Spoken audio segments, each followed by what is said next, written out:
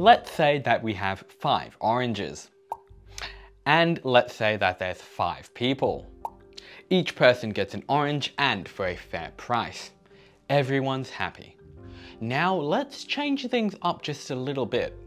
Let's say that we now have five oranges, but 10 people. Suddenly there's not enough oranges for all the people. To control the excess demand, the oranges go up in price and people start missing out on oranges. What's the best solution here? Should we simply ask the farmer to grow more oranges or should we say no to five of these people? Too bad you don't get an orange.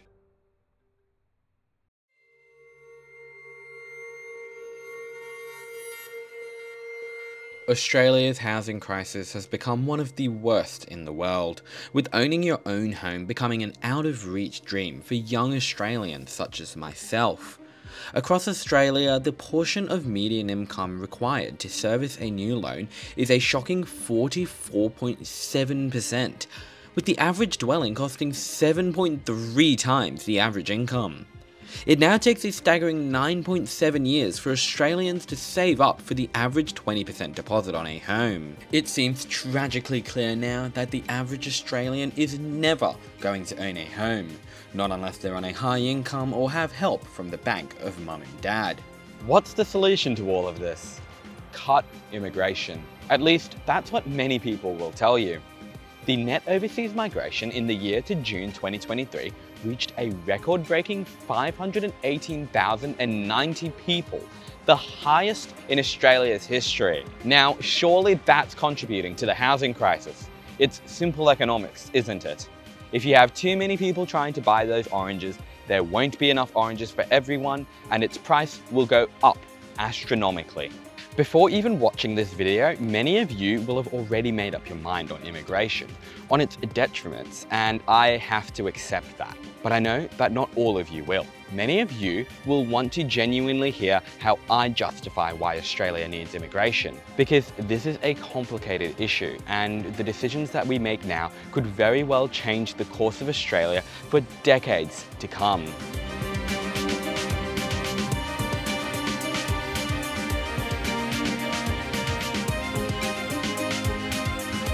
Before I continue, massive shout out to my monthly Ko-fi supporters. Please do consider supporting me over on Ko-fi if you can. Also, if you're interested in housing, the ways in which it affects our lives, and how we can solve the housing crisis, I'd strongly urge you to check out my series, The Housing Struggle, link in the top right. Australia is an immigrant country. Ever since the First Fleet, we've been accepting immigrants to this country, Indeed, unless you were Aboriginal, at some point in your ancestry, your family were migrants to Australia too, whether that was 10 years ago or 200 years ago.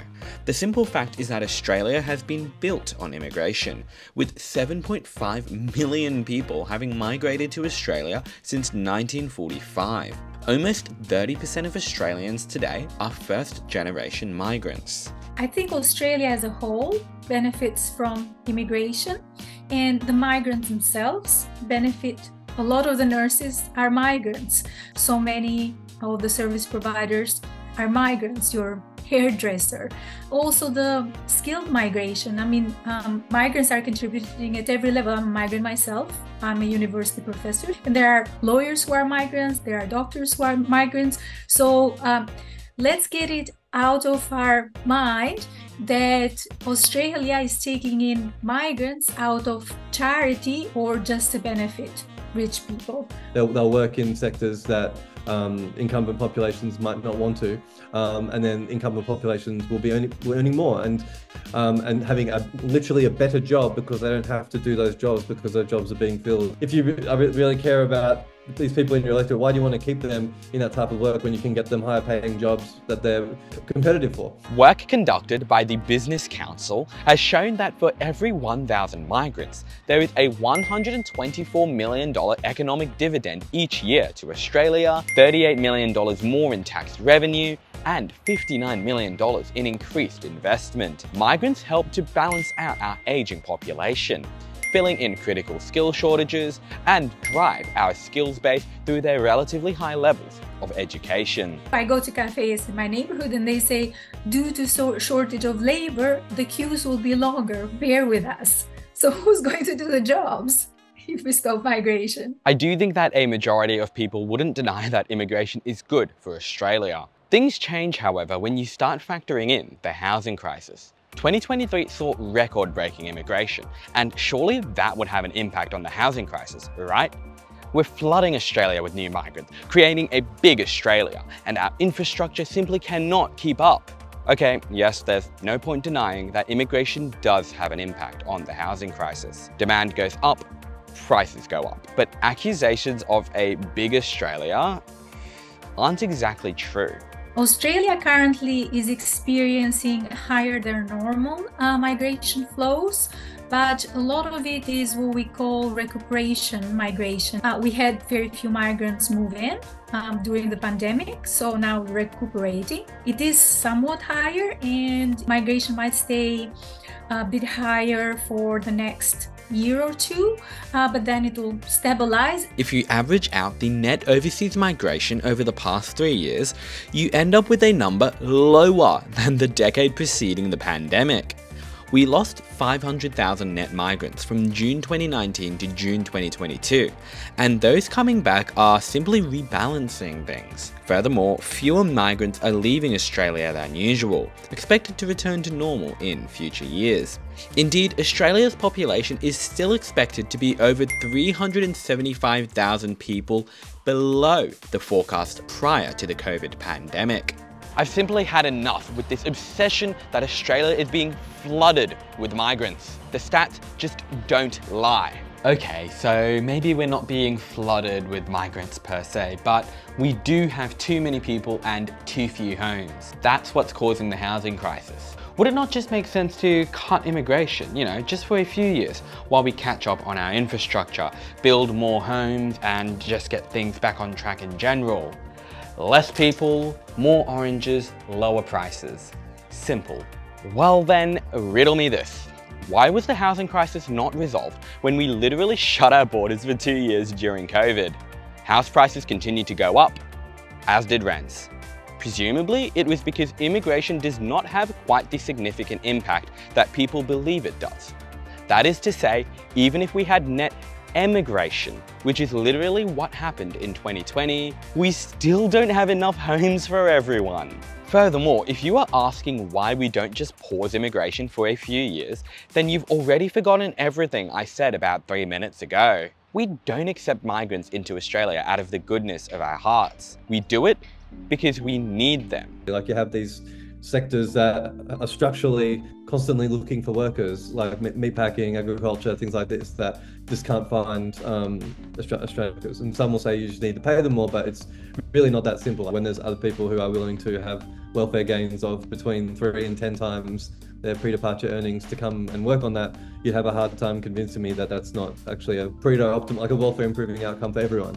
We get cheaper goods in, in the supermarket because um, it's a consumption side as well. Business leaders have been declaring over the past year that 160,000 skilled workers are needed per year in order to resolve labour shortages in fields such as engineering, construction, medicine, aged care and especially technology. Furthermore, it was recently found that an extra 90,000 tradespeople are needed over the next three months alone if we have any hope of building 1.2 million homes across Australia by 2029 and the hundreds of infrastructure projects to supplement that. Stopping migration will not magically evaporate the need for more homes and infrastructure.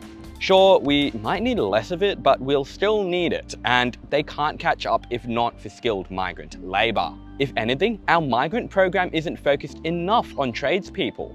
We need to bring in more trade labour than we currently are. It's not as though we're bringing in five people who will eat oranges and do nothing else. In fact, it's actually more accurate to say that at least two of these people are orange farmers who will help to grow more oranges. To be clear, these other three are also doing their own important things. It's a win-win. This is what we call the lump of labour fallacy. It's the false idea that migrants will boost supply or boost demand, without recognition of the fact that they will invariably boost both. when people do move into your town or into your country, they are obviously earning and buying things as well and propping up local demand. Migrants contribute to both the amount of work performed and they create the need for more work to be done. Indeed, the bigger the population, the better, due to economics of scale. A bigger population allows companies to spread out their fixed costs over a larger customer base, lowering costs. Okay, well, fair enough. We're accepting migrants into Australia because we aren't building houses fast enough. But wait a second, why can't we just train some of these five Australians to grow some more oranges, instead of bringing in other people to do it? That way we get more oranges, but the same amount of people. Well, this one's actually pretty easy to rebut. We currently have one of the lowest unemployment rates in our history. Most of these five people are currently busy doing other important things. So unless we bring these people in, there's kinda no one to grow these oranges. Furthermore, Australia has an aging population. In 1975, there were 7.3 workers supporting each pensioner. Today, that's only 4 workers. By 2060, it's expected to be only 2.7. This isn't entirely bad. A shrinking population in particular would help to reduce Australia's environmental footprint. But we can't just allow our population to shrink negligently either. Productivity will fall. The tax base will shrink, meaning less money left for the government to spend. Meanwhile, health costs and pension benefits will only go up in price. You have an increasingly small group of workers forced to sustain an increasingly large group of retirees. Baby bonuses are great and all, but I already know I don't want more than two kids. And I know many people who don't want any kids, regardless of all the money the government may want to offer. The only way to balance out our aging population is migration. I hope that I've made it clear why exactly we need these five people. That is why Australia needs migration. But we're in a housing crisis. If we don't reduce the number of people, what do we do instead? Simple. We increase the number of oranges. Okay, before that, big news. Amy and I are about to move out of home and start renting. About to become a victim of the rental crisis. Yippee! Rent isn't cheap as you all know, that's the whole point of this video, and so I need your help more than ever. I've relied a lot on my Ko-fi supporters over the past two years to support me financially, which has allowed me to cut down on my tutoring hours and focus much more on YouTube. I reward my Ko-fi supporters too, with things like early access content and invitations to my film shoots. Some supporters even helped me film my 15 minute cities video. Even the smallest amount of money from you, whether it be a one-off donation or one of my five memberships, will keep me from needing to find a job now that I'm moving out, and instead continue to make quality content for you. Anyways, thank you for listening, back to the show. But where should these oranges go? Where should we be putting more oranges? Now, you see, this whole time I've put the oranges pretty close to each other. But in reality, this would probably be more accurate. The density of Greater Sydney is only around 2,194 people per square kilometre, far lower than very livable cities such as London, Paris and New York. Density in Sydney steeply drops off as you get further and further from Sydney CBD, far faster than other large cities. Look at Haberfield, look at Balmain, look at Dulwich Hill, all located on the doorstep of Sydney CBD. I cannot even briefly entertain the notion that Sydney is full. Imagine that we built, say, some six-story apartments here, if not taller. Suddenly, we'd have a lot more supply. Except, we can't do that. Most of these three suburbs, and indeed much of inner Sydney, is zoned only for R2 single family detached homes. RBA research has shown that such restrictive zoning contributes a whopping 40% to the price of houses in Sydney and Melbourne. So instead of building apartments in suburbs like these, we're building more detached suburbia on the outskirts of our cities, simply because inner cities are not zoned for anything dense enough to accommodate for our growing population. Imagine that we already had all of these oranges and extra space here, but then we told people, nope, you can go eat those oranges all the way out there. There's no room for any more oranges here. Auckland is a brilliant example of a city that declared that there is room for more oranges. Auckland rezoned approximately three quarters of its residential land area by abolishing single family zoning, massively boosting its housing supply. Consequently, a June 2023 paper found that rents in Auckland are between 14 to 35% lower than they otherwise would have been without the reforms. And so it's no surprise that New South Wales Premier Chris Minns is fighting hard to rezone Sydney. He's announced mass upzonings at 39 stations across Greater Sydney, expected to accommodate 185,800 additional dwellings over the next 15 years. A majority of Sydney-siders are on board with this plan. 43% support it, 31% are undecided, and only 26% oppose it. Yet if you spoke to certain privileged NIMBYs, you'd think that Chris Minns' plan was the end of the world. From Mortdale to Balmain to Fairfield to Ku-ring-gai, communities all over Sydney have been protesting loudly over the past year to maintain the character of their neighbourhoods. Frankly, it's little wonder that more housing struggles to get built in Sydney. A lot of people are benefiting from the housing crisis and from the broken housing system that we have now. Our neighborhoods being very, very regressive, a lot of uh, people who are currently homeowners being extremely selfish, dare I say, immoral. That's that's an immoral position at this point to um, be a NIMBY when um, there are homeless people on the street. Those older people, the baby boom generation, they're not sacrificing anything. I mean, they still have their single family homes. Their homes have gone up in value quite a lot. The only thing they might be sacrificing is a little bit more traffic in their neighborhoods. And I say it's okay for some people to put up with a little bit more traffic if it means that um, a whole set of other people will have a roof over their heads. There's also the nativist element as well, right?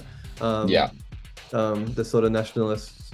Like we just got to protect Australians. It's about Australians. We shouldn't be worrying about anyone else. Kind of, yeah. yeah. Um, it's not how that, how Australia's become great. It's not how we've grown. It's not really a part of our political and multicultural. And this just seems like shooting yourself in the foot on a lot of other things that are very important to us when we've got a whole bunch of other policy levers that would not be as would not be detrimental. When you consider all the good that Australia gets from immigration, economic benefits, cultural benefits, the simple ability to allow more people to call this great country home, it's kind of hard to fathom that many would rather we just close our borders than implement the straightforward changes that a majority of voters support. I was born in Australia and I've spent my whole life here, but I'm the son of migrants.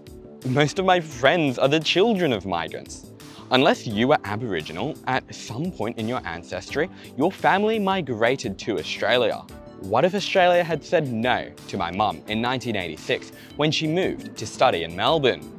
What if Australia had said no to my dad in 1973 when his dad got a job as a teacher in southwestern Sydney? I wouldn't be here making videos about transport and urban planning for you.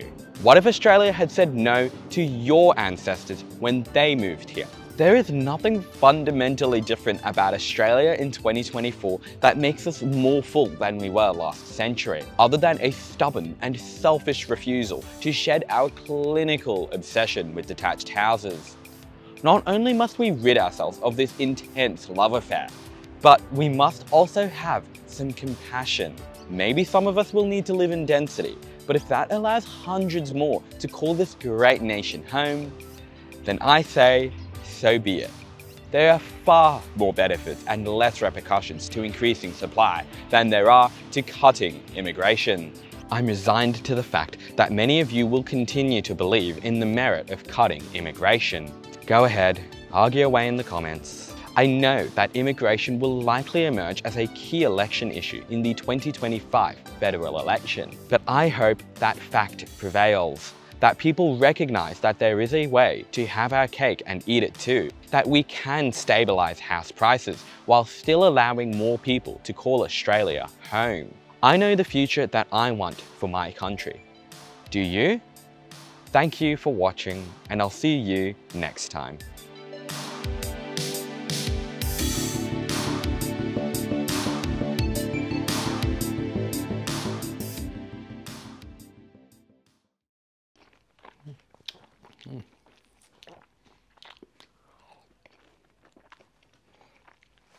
Oh, shut up. I'm hungry, okay?